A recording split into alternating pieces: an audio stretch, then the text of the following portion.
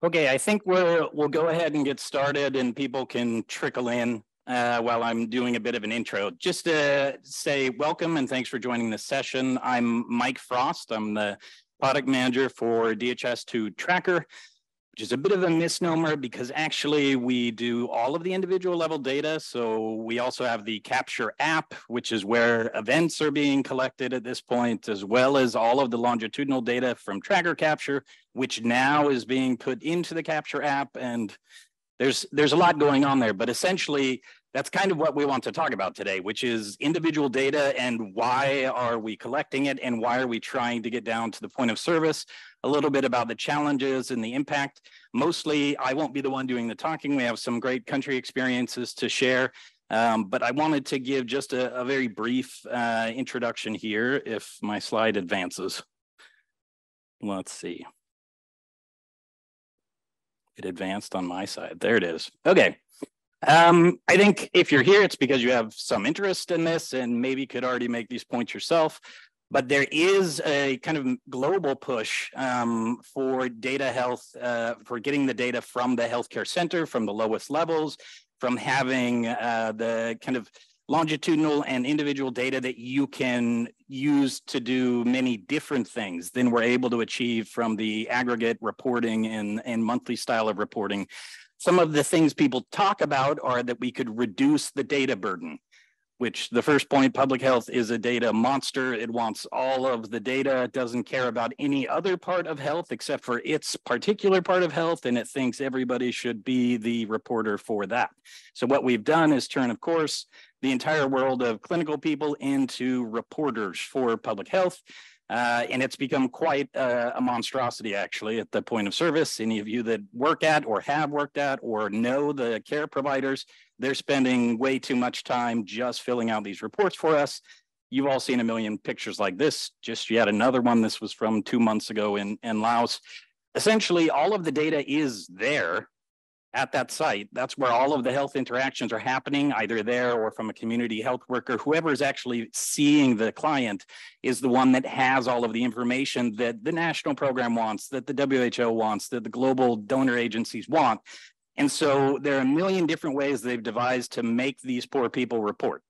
Supposedly, we can reduce that if we're able to actually just capture the clinical interactions, if you're able to collect some of the minimal data points that are needed to calculate all of your indicators. Potentially, that also gives us better data quality. Uh, when you're not having the human uh, entry process of going from the register and then tallying them up into your weekly summary and tallying those up to put in a monthly report, which you're then sending to another person who's going to enter into the computer and maybe there's doing some additions. So, so many possibilities for human error in that process that we have an assumption that we can get better quality data if we capture it one time when the interaction happens and would be able to reuse it. And we're talking, of course, we're, we're talking a lot about health here, but this is true across every industry. Uh, we've all heard about big data and all of the interest and Facebook selling your life to advertisers this is the same movement actually. You need the individual discrete information in order to do better analyses and be able to do better predictions and be able to better understand complex behaviors. So you want that granular data. Um, so yes, supposedly giving us better data quality, supposedly giving us better data analysis. So why wouldn't you do point of service? Well, Probably the exact same reasons. Does it actually reduce data burden? Not usually, not the way that it gets designed. Everybody wants, oh, we're going to be down there in the clinic. We can get every piece of information that they possibly have. And you go through the design process and you end up with some monstrosity of a data collection form. So it doesn't reduce the burden. You didn't even take the paper away. Now they do extra data entry because they enter it all into their individual point of care uh, data forms and tracker.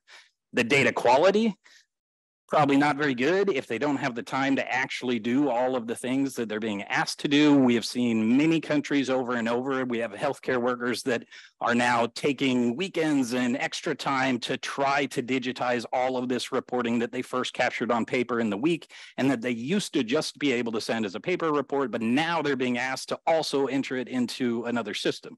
Data quality probably going down, not as much reporting, probably causing problems. The data analysis, all these sophisticated analytics that we're doing with tracker data, hardly existent. There's not a lot of new sophisticated ways to actually triangulate the data and have better answers to public health problems. We mostly are generating the same global indicators that we've always had. Uh, we're just doing it from the individual data now.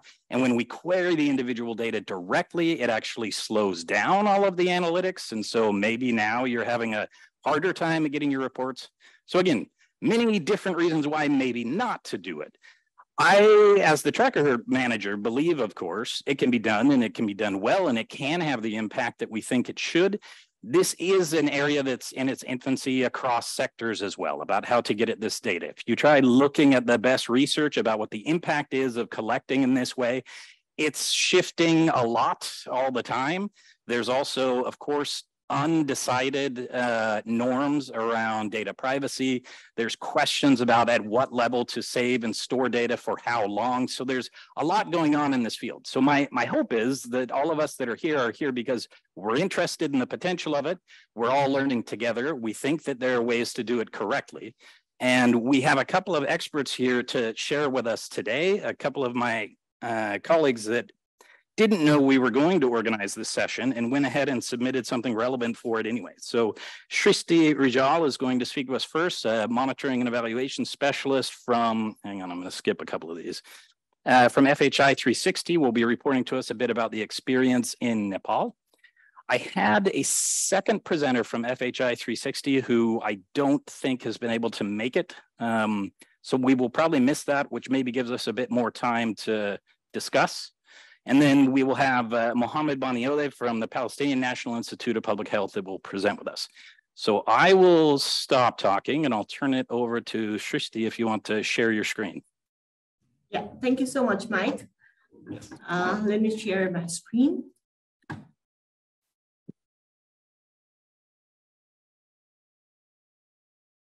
Are you able to see my screen? Yes, we do. Okay, uh, a very warm good morning, good afternoon, and good evening to everyone present physically and virtually in the DHIS2 Annual Conference 2023. I, along with my colleague Upendra Shrestha, are going to present on strengthening community action to achieve ending HIV 2030 in Nepal. This is our experience of using DHIS2 in HIV prevention, testing, treatment, care, and support program in Nepal. Uh, Nepal has con concentrated epidemic of HIV among key population, such as female sex workers, people who inject drugs, men having sex with men, and transgender people. Since 1993, FHI 360 and currently EPIC Nepal project uh, with the support of PEPFAR USAID in a coordination with uh, National Center of AIDS and STD Control, is working in six out of seven provinces of Nepal, covering 37 districts out of 77 districts, and uh, comprising of 387 municipalities. In addition, the project has been providing technical support to 56 ART sites. The services are delivered through key population-led 26 city clinics, and 25 dispensing sites for continuum of HIV care.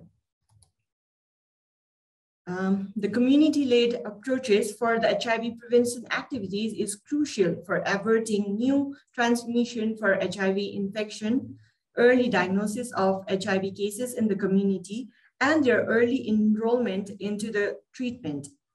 Um, their roles in treatment retention monitoring the treatment progress is also equally important to end HIV epidemic in the country. For the successful and effective community mobilization, there is an immense importance of accurate, timely captured, and complete person-centric data, followed by the analysis and its interpretation. These robust person-centric data is fundamental for the uh, differentiated service delivery of HIV. The overall data use will eventually support in preparing action plans on daily, weekly, and monthly basis to improve the quality of HIV services. It also guides to meet the targets uh, focusing in the high risk area and population. uh, FHI 360 Nepal had been using management information system based on Microsoft Access. You can see the screen over there. Uh, though all the implementing partners used to update the client's record in daily basis, the data could not be extracted instantly to track the progress, analyze it, and interpret to take the programmatic decision.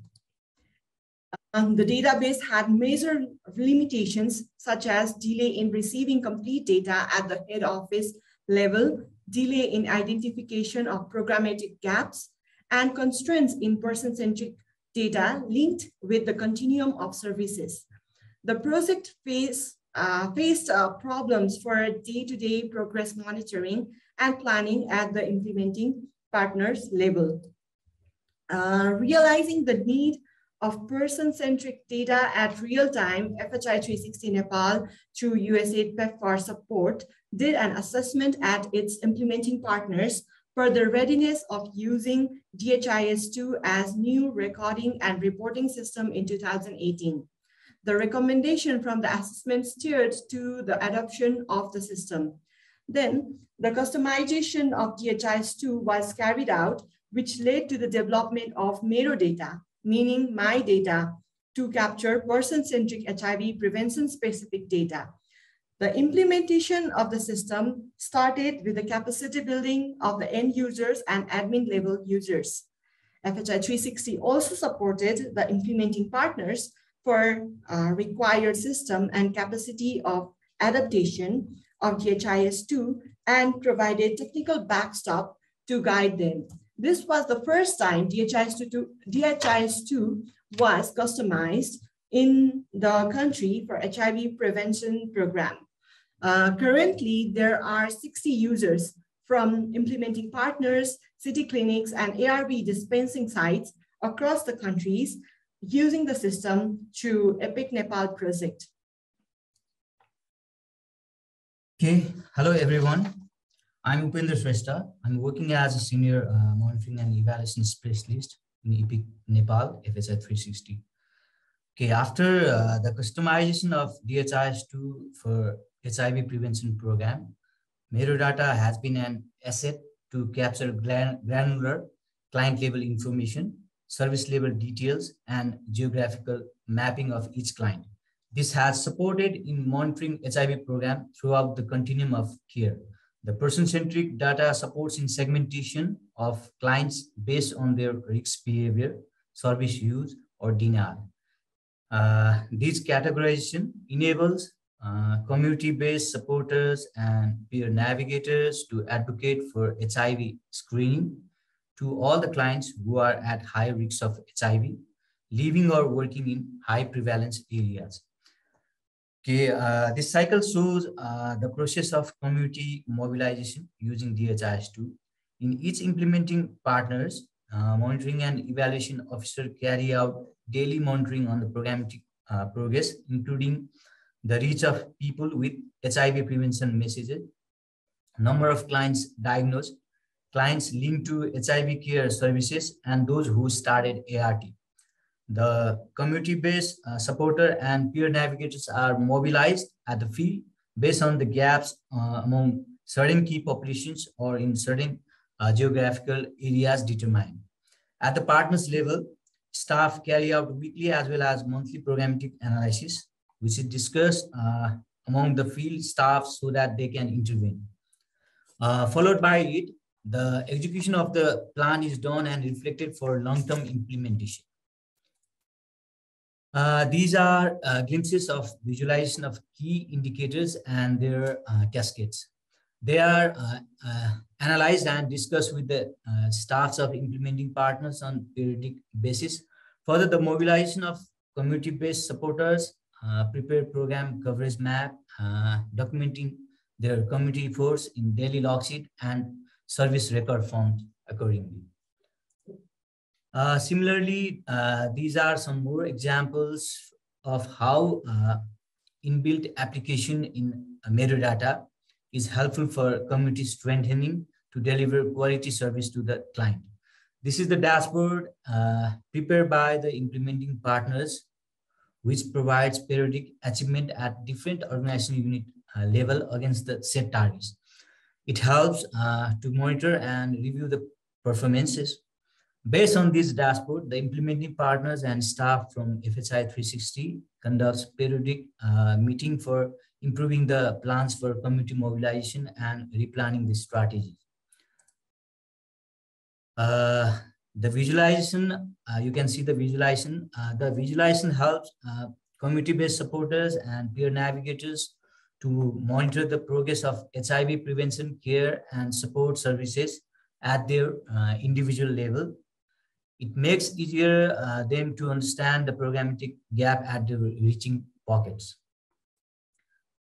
Okay, uh, the line list of the client has been helpful community mobilizer for identification and prioritizing the client for the services.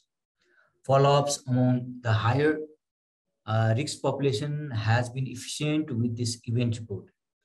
This has been effective to advocate uh, services like pre-exposure prophylaxis services uh, among high risk uh, of HIV populations. Similarly, uh, regular follow-up for the PLHIV in the denial of ART and those who are with unsuppressed viral load result has been possible. Okay, uh, the scheduling feature. The scheduling feature has definitely provided the benefit to the case managers, uh, those who are stationed at city clinics in each implementing partners to conduct a regular follow-up uh, for the services. Uh, MERO data has been uh, vital for not only in uh, data recording and reporting, but for the use of the data in evidence-based planning and execution through the community-based workers. They contribute for capturing uh, granular client-level information, service-level details, and geograph uh, geographical mapping of each client for real-time data that leads to action. This has supported monitoring HIV program throughout the continuum of care and facilitating to provide differentiated service delivery based on the status of clients and their risk behavior through community-led approaches. So in a nutshell, this person-centric data management system has strengthened the implementation of uh, evidence-based community action to support ending HIV by 2030 in Nepal. Following this success, uh, success the model has been adopted by the uh, national system as well to build uh, and strengthen one national HIV information system in Nepal. Okay, thank you, everyone. Uh, do you have any questions? Sorry, we were just unmuting.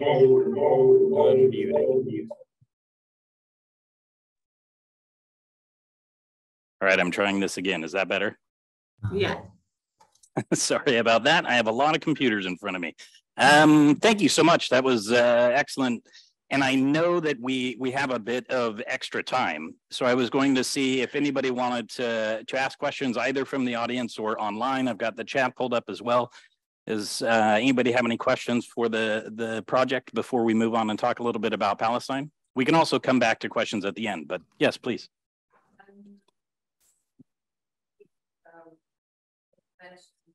I'll bring you the microphone. We'll see if they can hear us. Yeah.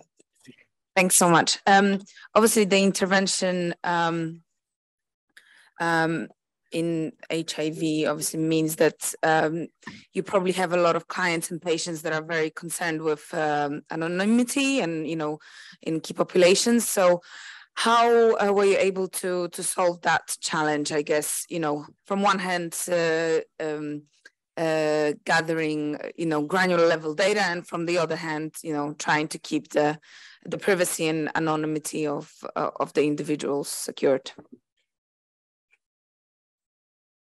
Uh, we have been practicing uh, the use of UIC, a unique identifier code, uh, so that they can track all the data using the unique identifier codes.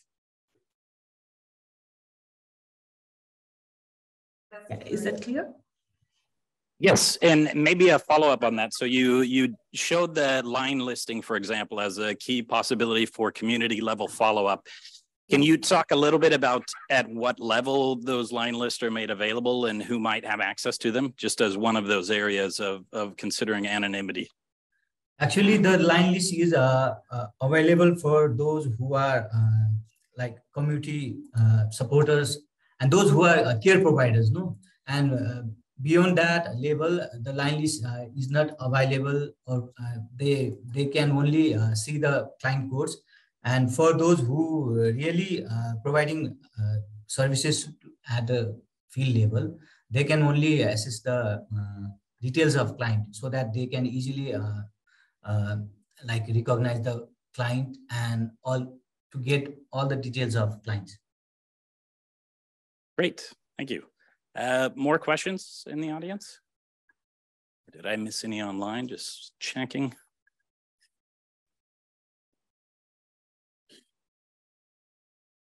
So maybe I would ask one more and, and others from the audience can, and then we'll move on. But uh, I was wondering if you could, could maybe say some of the, the biggest challenges that you had in carrying out this project. It, it looks like it was a lot of work, very well thought out. Um, what, what maybe was surprising or challenging that you would recommend people prepare for or plan for?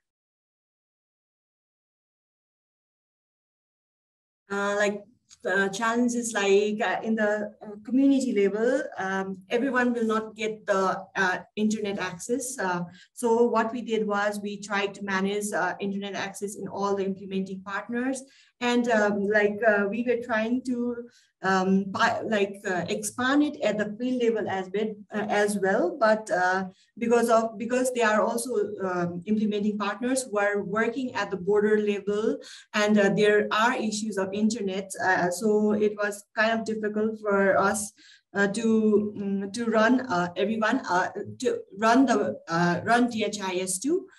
similarly, also there are some uh, because the, it's a key a key population led organization uh, it was difficult us to capacitate um, the capacitate everyone uh, so we have been doing a lot of a wide range of capacity building uh, capacity strengthening uh, trainings and uh, there is a lot of turnover as well so it is uh, it, is difficult uh, uh, to spend a lot of resources for capacitating them.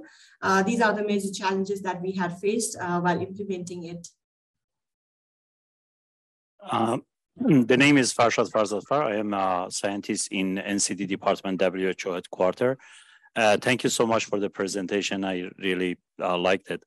just a question, what are the measures that you are going to take to make sure that the data quality remains as uh, reliable and uh, valid data? Um, first, uh, uh, at the field level, what we do is we do the verification uh, using the log sheets that we had mentioned in the presentation. Followed by it, we have been carrying out data quality assessment in based on the need, like um, if the, the data quality is very poor, then we do it uh, three times in a year, or if it's good, uh, based on the scale we do annually. And, uh, uh, and rather than that, than that, we also have been using Power BI to see um, like about further visualization and to check uh, the uh, quality of the data. Okay, besides that, uh, we are we also do record the service in hard copy forms as well. So as a as a source form of this system, e, e forms. So on the basis of uh, those uh, filled up hard copies, we regularly uh, and periodically conduct uh, conduct data quality assessment, uh, data verification, so so that we can uh, ensure the quality of data. Thank you very much. my name is Zamani Siam. I'm the regional advisor for CRO region from WHO. Sorry, I'm asking you maybe um, a kind of an archaic question, but um, just if you can reflect on your experience, please, about um, the ethical part of it, the sort of the, let's say, patient or client consent for you recording and registering personal data, if you can give us some insight into that, because the common understanding, for instance, we have from facilities like inpatient facilities that this comes naturally with the registration sometimes, and it's a kind of an embedded sort of practice. But when you are doing outreach and community-based sort of work, how are you getting the client consent that you would register their data and, and process it? Thank you. Yeah, thank you for, for your queries. Uh, yeah, the confidentiality of, and privacy has been like uh, maintained in uh, capturing the e electronic uh, in electronic form. So we basically we uh, we obtain uh, clients consent during our registration. So at the at the at the time of registration, we uh, like explain uh, our uh, various wide ranges of services they can utilize from our organization. And at that time, if a client is like client convince and give the consent for the service utilization, we uh, basically, we explain all the procedures and uh, take consent uh, during the service enrollment period. And we also like, uh, we also like uh, inform, inform them about their privacy and confidentiality and about the, we also keep their records in a locked cabinet. So we basically, we ensure the confidentiality and privacy of the clients. And adding to that, uh, we have uh, different uh, users for in every implementing partners who have their own password code, uh, code, and we tell them that if any of the staff leave the uh, leave the organization, they have to change the pass password so that uh, the information is not leaked anywhere, and um, and also um, also the, all the paper based are have been ensured that they are kept safely uh, and um, uh, and and we ensure they are maintained uh, with a perfect uh, confidentiality and privacy. It, thank you so much. Uh, thank you, uh, Upendra and Shristi for for sharing with us. It was uh, very interesting. we'll we'll move on now, but maybe first a round of applause. I don't know if you'll be able to hear, but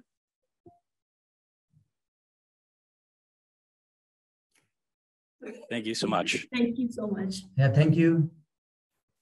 Uh, Mohammed, I think we'd be happy to turn now to, to you. I think, yes, we can see your screen. Yes, thank you. Thank you, Mike and colleagues, uh, for having me to share our experience in Palestine. Uh, can you hear me well? Yes, we hear you fine. Yeah, yeah, that's great. And you can see the screen as well. Uh, so um, just um, um, I'm uh, Mohammed Bani Odi. I'm from uh, Palestine, uh, working in the World Health Organization as a health system officer, and I'm leading several public health uh, informatics initiative in the primary healthcare setting in Palestine. Today we will uh, we will share our experience in Palestine for using the DHIS2 on large scale implementation. And really, this is the, uh, the unique experience of utilizing the DHIS2 on large scale implementation, not only on the HMIS, the routine statistics, but also on the tracker as a patient record. And really, uh, we started in 2016 uh, by utilizing the DHIS2 as a tracker patient base for the mother and child uh, care. Uh, then we decide to add more services, uh, including the family health and other health services inside the primary health care. In this presentation, we'll go quickly for the main modules that related to the EHR because we we we um, proposed like a new uh, like uh, a term to be used in, inside the Ministry of Health uh, to consider it like, not like a tracker, but also it's like an EHR. Uh, when we utilizing the family health record. Uh, so we are utilizing all health services inside that record. So it's an EHR. So that's why we will repeat this term. Uh, then we will will focus on the issues that could be replicated from Palestine experience to other countries and the take home message.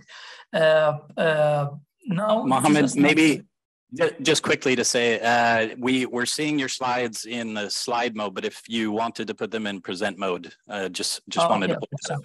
Sorry, yep.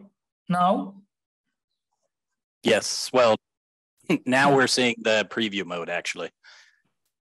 okay.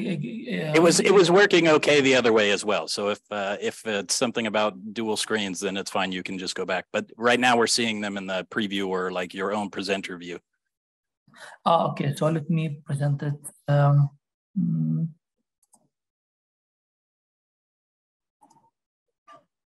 Again.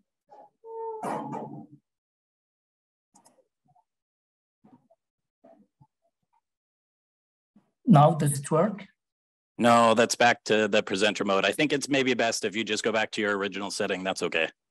Oh, okay. Where this works also. Yeah, Ah, okay, okay, that's, I got it, okay, sorry.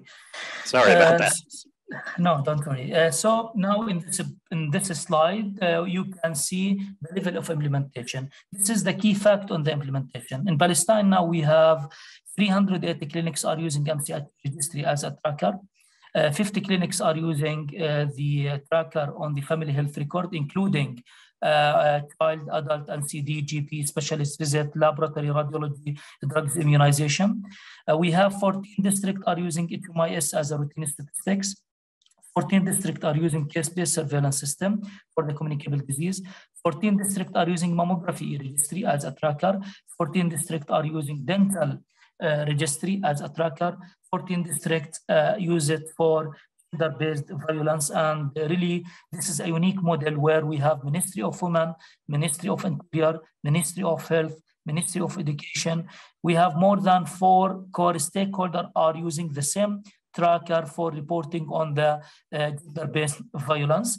Uh, we have also the RTA. This is also unique model because we are utilizing the road traffic accident, not only registry, not only for the Ministry of Health, but also for the private hospital, NGOs hospital, and governmental hospi- hospital are reporting on the same tracker DHIS2. Uh, before that, it was yeah, everyone they send their data to the uh, to, to the MOH, then they compile it and do the data entry again into one system for utilization. Currently, all of them are using the same uh, uh, uh, system for reporting. And also we have 14 districts using the health education platform as an event. So we have event program, tracker program, and uh, aggregated uh, program. Uh, in fact, we were driven with the um, um, National Health Information System strategy, which is published on uh, 2013. And part of that is to improve the information product and to improve the surveillance as well. So that's why we focused on all mentioned uh, surveillance. And this is an important uh, and really a successful recipe uh, uh, in the implementation to be driven with the counterpart and government uh, priority rather than the donor priority at that time. So you can success and provide real implementation and success implementation. Here's, for example, one of the requirement document that we shared it with the Ministry of Health to get the clearance before start the configuration for the family health, what included inside the family health. So we started with that document. It takes time from us, but it helped us a lot in the implementation because uh, we we considered uh, the stakeholders uh, uh, the, the requirements rather than our uh, perspective. Uh, and in this slide, you can see what type of, of uh, um, programs we implemented. We have a tracker program. Uh, we have now currently um, 100,000 of patient record of PHC. Now it's available for utilization. We have aggregated the program. The aggregated program uh, now is the only source that the Ministry of Health is using and relying on it to publish the annual report. And really, this is an achievement because before that, they use a paper-based and Excel and Microsoft Access to generate the uh, routine statistics. Now they are using the uh, DHIS2 for generating the annual report. The event program, uh, for example, including the uh, School of Health Services and other activities provided as an event, uh, not aggregated and not uh, patient-based. And we have also like a metadata and health dictionary. We have more than 4,000 data elements now available in the system uh, from all paper-based was collected and uh, revisited and reviewed and build it, configure it inside the DHIS2. And these data elements now can be like a ready-made uh, uh, data dictionary to be used in the future for the data interoperability between primary care and secondary care. And we also have a KPIs and dashboard, and I will show, show you a live demo uh, in the last five minutes about the, the, type of indicator are generated from the uh, system. Here is the patient journey through the um, uh, FHIS, the Family Health Information System, or what I called at the beginning the EHR, because we compiled all requirements and services, uh, make it digitalized and available uh, in the primary healthcare setting as uh, from one URL, from one username and password, you can log in from one place so you can see all tracker programs in one place. And really this, this is also unique because uh, in the other countries, we noticed that they use, for example, a program for the child, another program for the mother, another program for the vaccination, and another program for the dental health. So it's like a silos and vertical programs. But here in our design, we consider all program in one uh, place and uh, that's include birth registry, death registry. All of this information now are longitudinal where the person start the journey from the DHIS2 and finish the journey uh, in death cases in the DHIS2. And this is a snapshot from the uh, system about the indicator of diabetes, uh, hyperdyslipidemia, uh, hypertension, etc. So this is a real snapshot from the system, and I can show you also from the uh, system. This is the as is design. Before we started, it was like, as I mentioned, a silos, and every tracker has um, a separate entity. Then we compile it together in this uh, model, as you see, electronic record, EHR. So all, all um, patient-based records are available now in one instance. So you can uh, link it with, uh, with other data sources uh, with Ministry of Interior, with EMR in the hospital, with, with, with insurance uh, um, Uh, uh, um, uh, federation or insurance companies, with the HMIS, the routine statistics. And all of these um, records now are available to be linked with the governmental uh, network, what is called the X-Road in Palestine. Uh, it's like an intergovernmental online service for the Palestinian government. So all other ministries, they can connect and interconnected with the same network and share the data with the privilege and uh, considering the privacy and confidentiality issues and all program are mentioned here already be, be, I listed before a while. What is replicable from what I mentioned before? We have um, uh, things we can replicate from Palestine. The government, the governance experience, user, user involvement, TOT experience, end of user, uh, end user training, implementation, metadata package, and system configuration. I will go quickly for them. For example, to make sure that the implementation is, is working, you can see the, the, the upper part of the iceberg. And this is the implementation. But in fact, at the end, and that's why I use that metaphor because really it's helpful just to show the level of complexity and the level of workload uh, at the uh, bigger part of the iceberg, where we have uh, users' involvement and early buy-in. Uh, we have an expert committee from formulated from different technical uh, committee from the Ministry of Health communicate with them. Uh, tens of, of technical meetings and sensitization meetings were held just to make sure that they are involved and they are part of the design. Uh, we have the infrastructure installation. We have more than uh, 2,500 network points and more than 2,000 PCs are distributed. Uh, the software configuration, we configured more than 4,000 data elements inside the system. And as I, I mentioned, the system sensitization meeting training, uh, end of user training, including 1,500 uh, uh, end users. So all these um, um, um uh, efforts uh, are really essential and crucial for a successful implementation to see the upper part of the iceberg. In, in picture, just one slide for each replicable experience.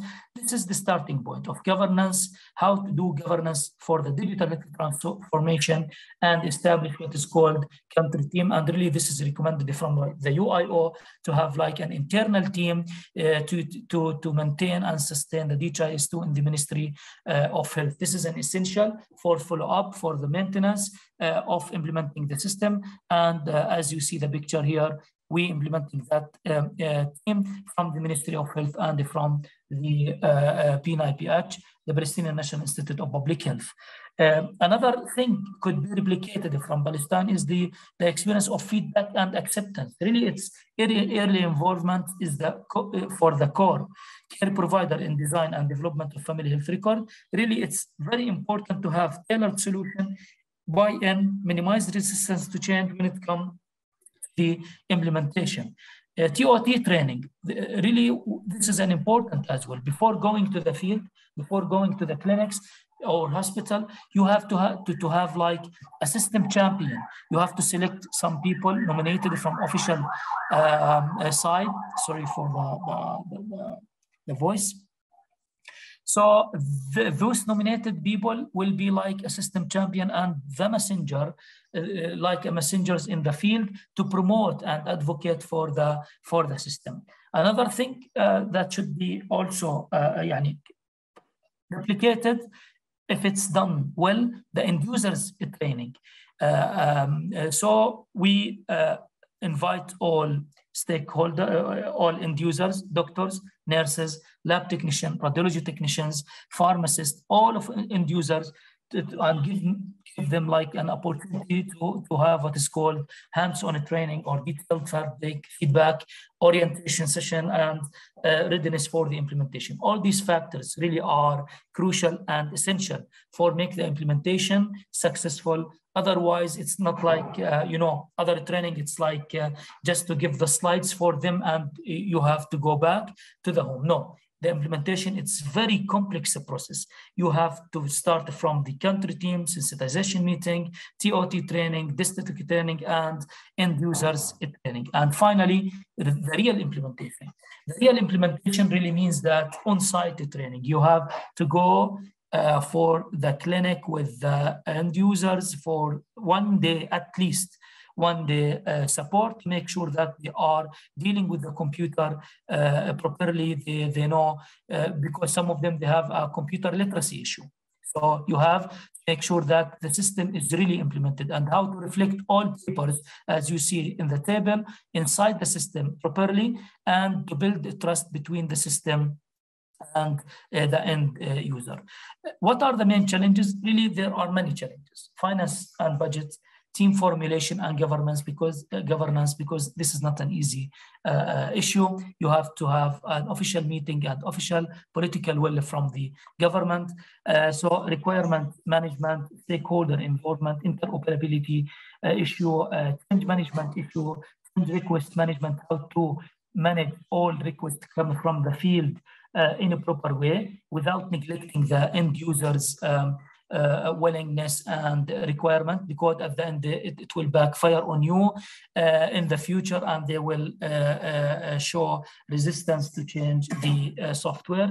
And and uh, finally continuity of technical support. This is essential for making the system sustainable. Really this is the take-home message from the, the, the large scale implementation. And really i put the tortoise and the, the uh, the rabbit, as you see, sometimes the decision maker like a rabbit, a rabbit, and the, the implementation goes like a tortoise because uh, everyone they have their own uh, priority. So it, it's very important to make sure that both of them have a clear understanding and a clear uh, vision about how the implementation uh, should be like. And it's not like a shake and bake process or like plug and play. So it's very complex a process. So you have to establish a clear vision and goals, political will, engage stakeholder, to have a national consensus and the plan for data privacy and security very well, invest in training and support, monitor and evaluate the system, consider interoperability in your mind while you are proposing the, the use case for the user and continuous improvement. Finally, just, um, I don't know if I have a time uh, for two minutes, uh, just uh, Mike. Yes, go Can ahead, yes. My, yeah, yeah, great. Can you see my screen now? Yes. Okay, great. And this is the uh, uh, really the, this is the tracker capture. As you see, uh, you can see the uh, now the list of programs that are already built from one place. This is really one of the big achievements. Make all program navigated from one place. We have a central registration program, accounting and pricing, cause of death, child program, family health file, immunization, laboratory, mammogram, PEN approach, pharmacy, and radiology. For example, if you need to register uh, uh, anyone in the primary healthcare, no need to register from several vertical uh, tracker program. From one place, you can register the, the, the, that person and just add the reason purpose of the visit for that visit. Then you will move for, for example, the family health file. Inside the family health file, you can add the history, and you can see the previous visit as you see here, family history and um, uh, surgical history, patient history, uh, and other modules. Uh, this is the nurse record. You can uh, add doctor record. Once you save it, you can add the ICD-10 and the doctor note the present illness and systematic review, uh, physical examination, management plan, and based on the management plan, the system will guide you for the rest of the process. You can also make a laboratory test for that uh, patient. In a few seconds, you can make the uh, lab request. Uh, really uh, utilizing such uh, data systems, and I, I, mentioned that to the conference in now in the University of Oslo, just show you that the data is too like um, uh, you can modify it based on your uh, resources and based on your um, sorry, Mike, just one second.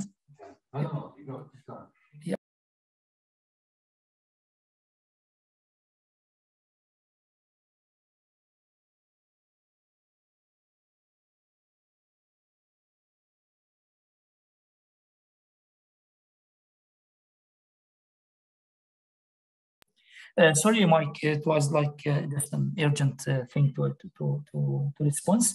Okay, so this is the lab, the lab test. You can do the lab test quickly as you see, for example, fast blood sugar, random blood sugar, uh, cholesterol, etc. And the lab technician will fill the result. And the same thing you can do for the, the pharmacy. You can make the uh, pharmacy from here, from the, the same place. As you noticed, you can make a pharmacy uh, request based on the, uh, for example, this is the most frequently requested medication for the patient. Very quickly, you can uh, make a request, for example, for the metformin, for aspirin, for paracetamol, etc. And uh, uh, uh, dose frequency. And once you click here at the right feedback, you can see all requested uh, drugs. Then finally, the doctor will return back to the family health file and write final conclusion. All transactions I did now, you can see it here in the dashboard. And this is this is one of the big achievement that, okay, all this transaction is not only for clinical use, it's for statistical use as well. So you can see, for example, the NCD program, and in the NCD, program, this is not routine statistics, not HMIS or aggregated. This is a, a patient-based uh, data that generated from the patient records and presented as a, um, uh, presented as a, a, dashboard here. We have another dashboard for the HMIS, but really this is uh, uh, generated from the patient record. We have also for the financial report, all revenues are coming from all lab pharmacy and other are coming. Uh, are coming from uh, a different transaction in the system, you can also see it. We also have like a dashboard for the training material to make one centralized library for the end user and mitigate risk of uh, making the end users are lost in the field. So they can go for the video they can download the uh, for example uh, the uh, the manual. As you see can you see the manual user manual it's a pdf yes yes we oh, see it great so all resource material also are available here for the, the child program and all other programs now, hundred thousand, hundred thousands of indicators available now for them. And one of the, yani, I, I see it's like a creative solution for them. We we cannot promote the end, the end user that uh, uh, uh we cannot uh, promise them. Uh, we have a, a stock management system, but we have a workaround solution where we added all dispensed drugs for them in one list. So they can compare it, they can present it on daily basis, in the, in the, on daily basis, and then they can use it for count, how to do count for the current stock. And really they were, uh, uh, they, they, like that uh, workaround solution. Uh, the laboratory the same, so the other programs we have same thing. Maybe one of the important things that I, I have to mention about uh, the, the, this uh, HR, EMRO, the uh, uh, Eastern Mediterranean um, Regional Office, requesting us officially that let us find a way to make this uh, data system available for other countries to, to deal with EHR like uh, uh in the DHIS2, not only for routine statistics, but for the treatment of, of the end users. Okay, it's not linked with the pharmacy and the stock and inventory in, in, in uh, with the APIs yet, but at least it gives more than 95% of PHC requirement in any country. And you will not pay any maintenance contract for any company at the end of the year because, and that's, that's why the MOH in Palestine adopted the DHIS2 while they are paying hundred thousands of dollars for other software in the hospital and other uh, uh, healthcare settings. But for the DHIS2, since 2015 till now, uh, they are utilizing the core DHIS2. And one of the uh, crucial and important uh, uh, factor for sustaining the DHIS2 in any country is to adopt the core DHIS2 uh, without any customization because customization means dependency on other uh, uh, extra hand from outside and from the developers or from uh, from outside the Ministry of Health, which is against the sustainability and maintainability of the system. Sorry if I uh, have uh, maybe five minutes extra, but yani that's that's the whole story in, in, in a quickly way. Thank you very much. Thank you so much, Mohammed. Oh, a round of applause, yes, for, for Mohammed. I predict yeah. a lot of questions because there was uh, so much there, but I was going to try just because our, our presenters really wish you could have been with us here in person, but I'll at least try to turn on the camera here so you can see the room. And oh. then maybe we can have some, uh, some conversations if this works at all. So it's looking very blurry, but that's my um, best attempt to, to, see the room. And uh, Mohammed, if you maybe, well, no, you can go ahead and leave your slides on the screen. I was going to say that uh, we'd be happy to have you and uh, our other presenters turn on your cameras at some point to say hello as well. But uh, maybe at this point, uh, I have a lot of questions I could ask, but I'd, I'd rather hear from the, the audience uh, if anybody has a starting point. There has to be somebody that wants to say tracker is not an EHR. Yeah, that's why okay, I, I see. That. I see a question here, so maybe uh, you'll be able to respond to that. Yeah, can I answer? Just uh, I'm handing it over for the question. Oh, okay. okay. Hello, Mohammed. How are you?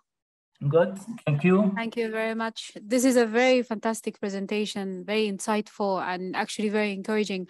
Um, I'd like you to speak a little bit to the audience about saying that Tracker is an EHR.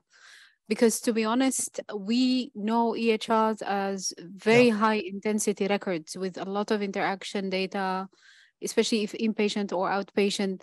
So we would prefer, I would prefer that you delineate a little bit the difference between tracker and EHR. For me, tracker is a smart EHR. It's not your standard thinking of what electronic health records are needed at the facility level for patient management. I'll, I'll stop there and, and pass it over to Mike. Yep. Can I answer now? Yes, please. Yep, thank you very much. Uh, uh, really, I um, that's why that's why I, I, I mentioned uh, we call it EHR because um, in the hospital we have an EMR, electronic medical record, because there is an inventory and there is um, stock in uh, stock management system, etc. So uh, in the primary healthcare setting, we call EHR electronic health record because we compile all digital health services, all healthcare services, let me say that, all healthcare services uh, uh, in digitalized mode in one place, in one instance, by using one unified identifier, the unique identifier, the Palestinian ID, in one database, and you can navigate all the program from one place. So if the definition, okay, officially, this is a tracker. Yes, but um, uh, in branding uh, wise, branding wise, if you call it EHR and compare the function between two other two two um, uh, two things, you can see that the countries you can they can utilize it uh, at that way. But really, yes, okay, you can use the, the term. You see it um, uh, in the way you, you need to see but at least it, it serves um, it serves uh, uh, um, the all functions you needed uh, um, on country level. So I, I don't know if I answered that. No, uh, thank you. I think we have a follow up here. Yeah, actually, thank you so much, Mohammed, for the presentation. Uh, actually, for me, myself, when I'm uh, trying to make a line or draw a line between the tracker and uh, uh, electronic medical record, I'm asking the list of the indicators. And when I have the indicators, I'm asking how many more field of data I am collecting compared to this. Because the main purpose of tracker is to make sure that you are receiving very essential informations and not making it, uh, you know, a long list of the data that uh, makes it uh, uh makes it uh, almost impossible for many many facilities with a lot of burden of patients to handle this. I don't know about the Palestinian uh, situation, but many other facilities are suffering from the shortage of human resource. And when you are doing this, I have uh, several examples. Uh, when you are asking them to complete all those fields and click all, all those items, uh, checkbox, Dropbox, and many other things, in the end of the day, what you are receiving is a low quality of data, which is not uh, even answering the uh, primary purpose of the developing this system. What I'm asking now is, have you done any time analysis and uh, how much uh, per, or, or uh, time analysis or even click analysis, how many clicks they have to do to finalize a file or how many, how much time they have to spend to, uh, to, to, to enter the data for one specific patient. Thank you so much. Yeah, thank you very much for the question. Um, Mohammed, it, it, seems it seems we had one person that wanted to follow up quickly to that, and then I'll let you, you just, speak. Yeah, yeah, just yeah. before he answers that one, I wanted to understand if this system is used at point of care or they enter the data retrospectively at some time later. All right, go ahead now, Mohammed. Yep, thank you. Um, in fact, um, we uh, agreed with the Ministry of Health to have what is called uh, a design review, okay, design review workshop, where we, we will um, uh, review all uh, metadata and data elements uh, in a workshop and to agree or to minimize the level of data entry. Because one of the issues we faced at the beginning, the Ministry of Health insist, insist to uh, reflect all data elements in the paper file into, into the, the, the, the, the, the electronic system. We try many times to convince, okay, uh, let us just focus on the minimum data sets or on the data that are essential for the doctor to, to, to fill it. They insist, oh, this is a medical file, legal file. So all uh, data available in the paper-based form should be uh, uh, should be configured inside the system uh, as is. But after that, uh, they find themselves, they have many clicks, 10 of clicks just to finalize the, uh, the record, and they are looking for certain data element, not all data elements. So they return uh, us to back, okay, uh, can you please just now do the review that you proposed for us at the beginning? And now we are at that position. Now we are standing here, just we need to uh, review uh, all data elements uh, inside the, uh, the, the system and propose a minimum data element just to minimize the number of clicks and the number, the, the, the navigation uh, cycle inside the system. Because just I agree with you, it's long because that's the requirement. But it affects the implementation. Yes, I agree with you. And that's why now we agreed together with the Ministry of Health to, to revisit the, the previous design and propose a new design with uh, minimal data entry. Uh, sorry about the second question, Mike, about uh, or a complementary comment. Uh, I didn't get it. It was it was just to clarify that this is being used at the point of care and is not secondary data entry. Yes, it's a primary healthcare. In Palestine, this is the way we utilize it in the primary healthcare setting uh, because uh, we are lucky at the beginning, they don't have any electronic system. So the only technology available in the primary healthcare uh, care clinics in West Bank, uh, it's the DHIS2. Uh, and in the hospital, they have a Turkish system called Avicenna uh, system. So yes, it's in primary healthcare and hospital. We don't have uh, DHIS2. And and they are entering the data into the system directly, or are they still capturing on paper first? Uh, no, they they entering the data while they are encountering the uh, uh, the um, the patient. So the, the patient will come to the clinic and while the doctor talking um, with the um, with the patient, he uh, has an eye contact for both for the computer to do data entry and for the patient as well. So it's not retrospective data entry; it's real-time data entry. While the episode of care is running and uh, active, so the data entry is uh, uh, uh done uh, automatic uh, in real time mode.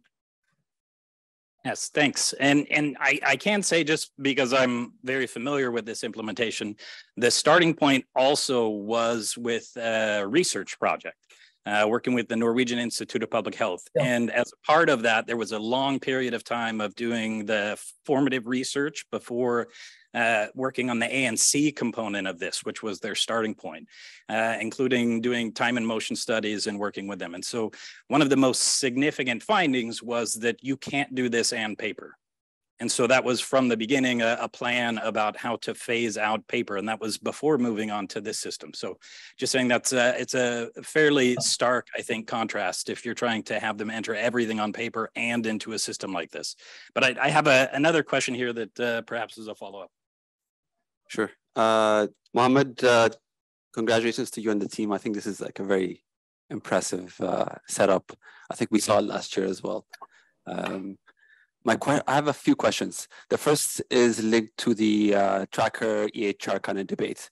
Um, uh, the biggest challenge of, or uh, the main characteristic of a EHR is really, or the hard part is the data dictionary.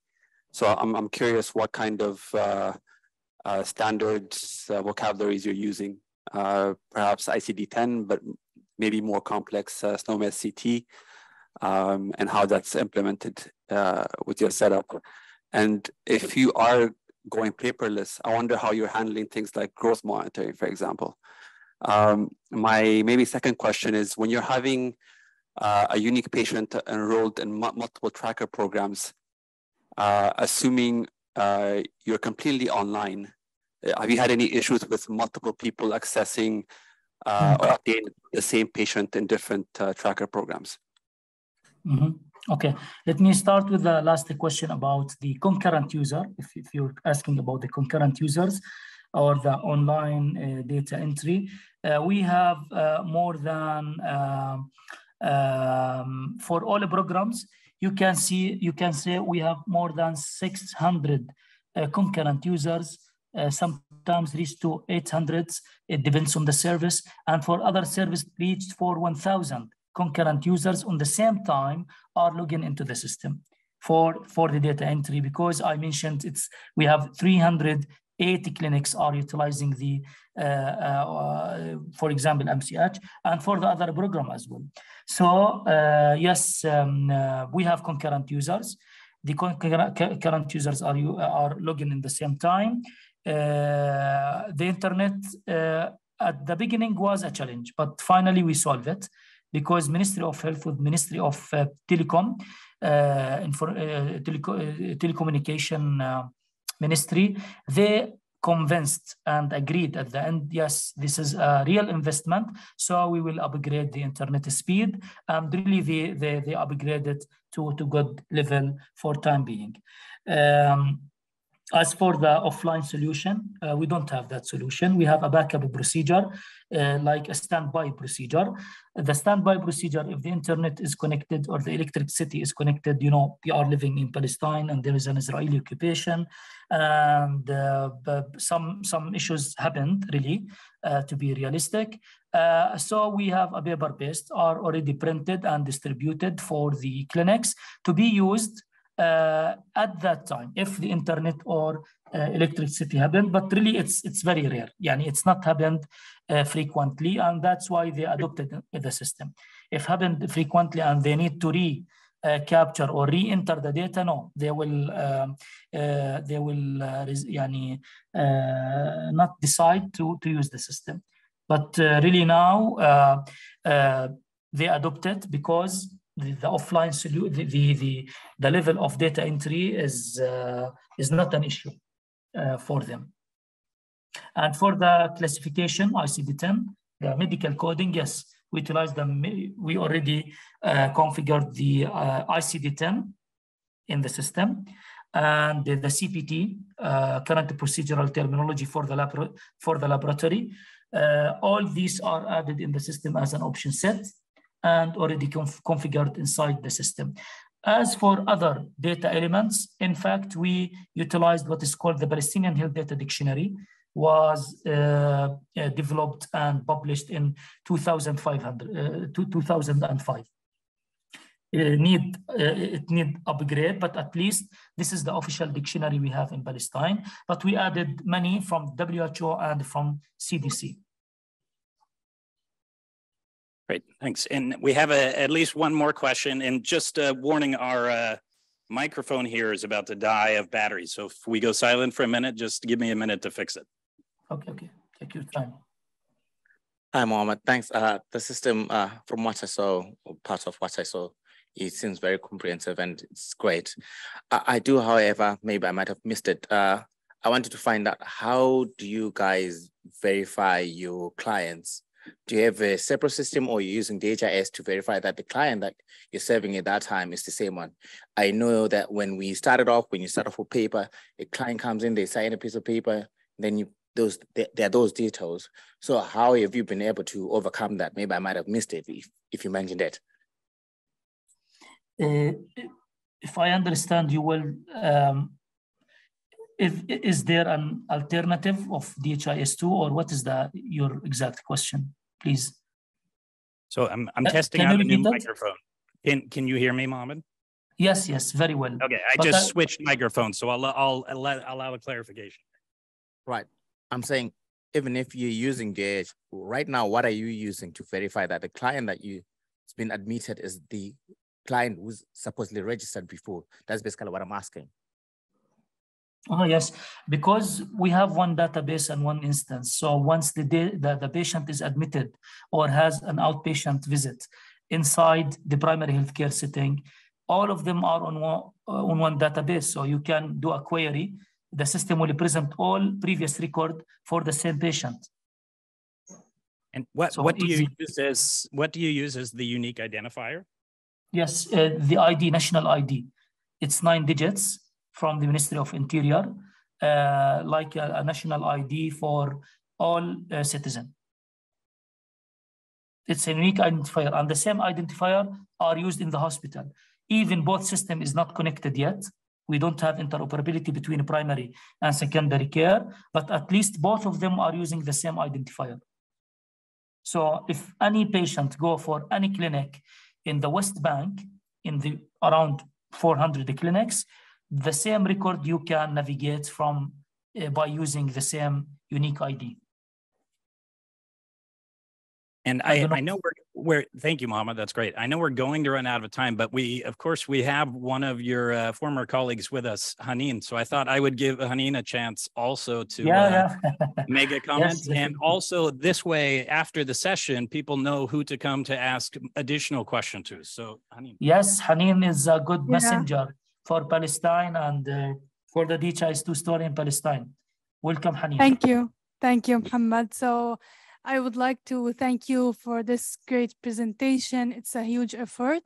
So for this regard, um, uh, it's not a question, but it's more like a request. Uh, if you could make like uh, a short demo video and send it to us. Maybe we can put it somewhere at the community uh, of practice because uh, when I started uh, here in the HISP Center dealing with uh, many countries in the Middle East region, they started to ask me a lot about the workflow of the system mm. and they want to know more. So if you can please just, if it's applicable to uh, do or to make a short video and we can uh, put it in the community so all countries who are interested maybe they can uh, look at it and uh, maybe to have like an idea of the system.